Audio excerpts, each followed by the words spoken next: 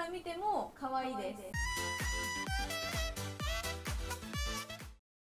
チャキチャキこんにちは。表参道ブロスのあやまるです、えー、今日はですねいろんなローポニーのアレンジを紹介していきたいと思います。今の時期髪の毛結ぶことがすごく多いと思うんですけど毎日同じローポニーじゃつまらないですよね。よく私のお客様からも髪を結ぶことは多いんだけど毎日同じでつまんないっておっしゃってる方たくさんいます。今日はそんなあなたのためにおしゃれで可愛いいろんなアレンジのローポニーを紹介していきます。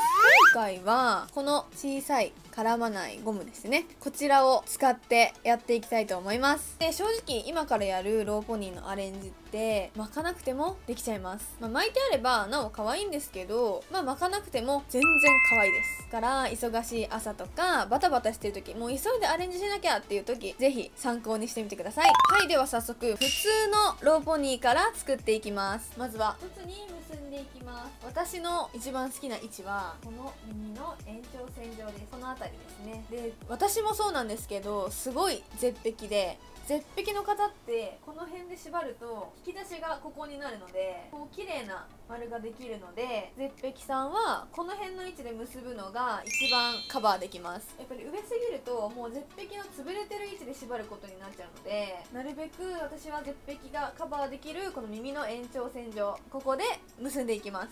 はい今一つに結べました。そしたら先にほぐしていきます。もうほぐす時ももう細かくもう爪で引き出すぐらいの量を順番に引き出していきます。私はもう両手で左右平等の位置で引き出しちゃいます。ペンでやるとバランスも良くて綺麗な引き出しができます。この意外とこの下の忘れがちな部分も引き出してあげてください。で前から見た時もふわふわっと可愛いように前からも引き出します。はい今これが普通のローポニーですね。ここまでは多分皆さんいつもやってると思うんですよ。でもここからです。今からの一手間を加えるだけで全然印象も変わってくるので今日は3パターンを紹介していきます。まずは1つ目。これは王道ですね。三つ編みです。三つ編みをしていきます。はいここまでできたらこれで終わりじゃないですよまたこの三つ編みも結構大胆にほぐしていきたいと思います。これも上の引き出しと同じように爪で細かい毛束をギュッと引き出していきます。もう細かい毛束なので大胆に引き出してもボサボサ感がなくてルーズな感じが出てすごい可愛いです。で今三つ編みの側面を引き出していったんですけどこの側面だけじゃなくて表側裏側も引き出します。そうすることで三つ編みにすごく立体感ができます。だからただの三つ編みじゃなくてなんかえあれ何編み？みたいな。三つ編みをやってるのに三つ編みじゃないみたいな。三つ編みになります。裏側も。三つ編みって編み込まれてるので意外と大胆に引っ張り出してもそんなに崩れないです。こんな感じです。どうですか？この立体感。すごい可愛くないですか？どう揺れても立体感が出てどこから見ても可愛いです。なんか特に飾りもつけてないのに華やかでパッと見た時に印象に残りやすいです。はいこちらが三つ編みのアレンジでした。はいそしたら次2つ目のアレンジです。またさっきの普通のローポニーの状態に今戻しました。そしたらだいたい次はこの小さいゴムをまた3つほど用意してください。はいではややっていきます。まず結んである根元のゴムから少し離れた位置でゴムで結びます。だいたい指。6本分ぐらいですね。6本分ぐらい。離したところに結んでいきます。そしたらこの今結んだ真ん中の位置をギュッと開いてこの真ん中から内側から指を入れて毛先を持ってくるりんぱでギュッギュッと締めます。こんな感じですね。はいそしたら一度ここをほぐしていきます。この細かい束でほぐしていってください。裏側も忘れずにやっていきましょうはいこんな感じです。はいそしたらまた今結んだ位置から指6本分ぐらいの位置で髪を結びます。そしたらさっきと同じように真ん中の部分を割って内側から指を入れてフルリンパをしていきます。でキュッキュッと。はい2個目フルリンパの完成です。こちらも爪で細かくほぐしていきます。見える部分も裏の部分もどこから見ても可愛いように360度ほぐしていきます。こんな感じですね。そしたら次3つ目やっていくんですけどもうさすがにこの位置じゃ手がきついです。なので前を向いてこっちから結んでいきます。でまた指6本分ぐらいの位置でゴムを結びます。そしたらさっきと同じようにくるりんぱをしていきます。ほぐします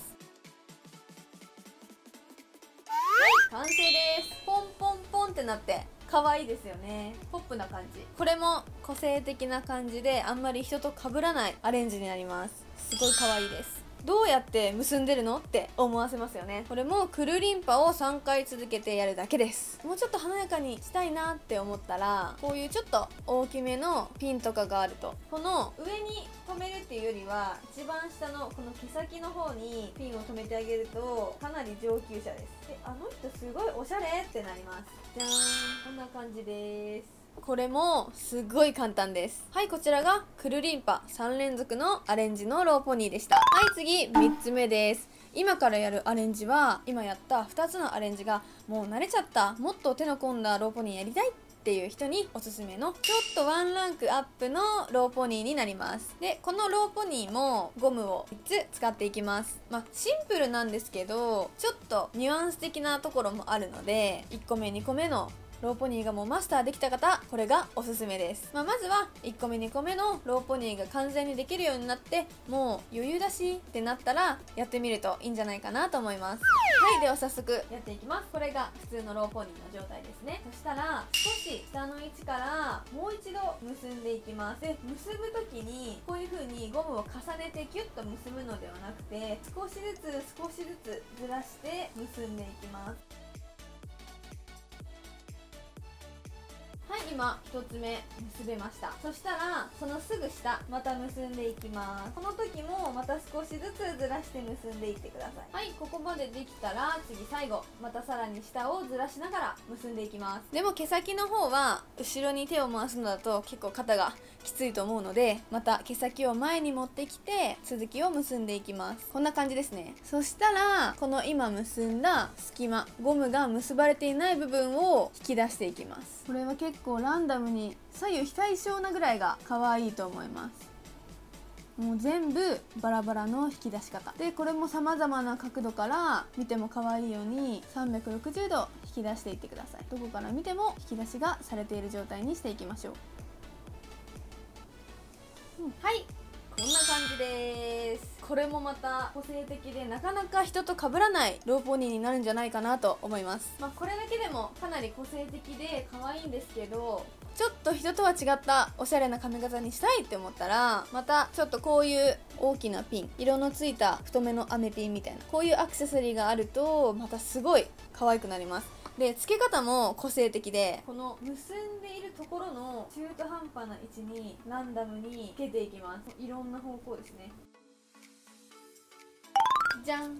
こんな感じです。これは結構かなりハイレベルな上級者のおしゃれなローポニーになります。ちょっと今日は人と被りたくないなとかハイレベルなおしゃれをしたいっていう方ぜひこちらのアレンジを参考にしてみてください。はいということで今日はローポニーの様々なアレンジ。3つのパターンの紹介でした。どうですか？簡単なものから。ちょっと難しいものまで。ぜひ皆さんいろんなアレンジを楽しんでみてください。今日の動画が参考になった方はいいねチャンネル登録お願いします。で下にコメント欄もあるのでたくさんコメントお待ちしております。はいではまた次の動画でお会いしましょう。じゃあね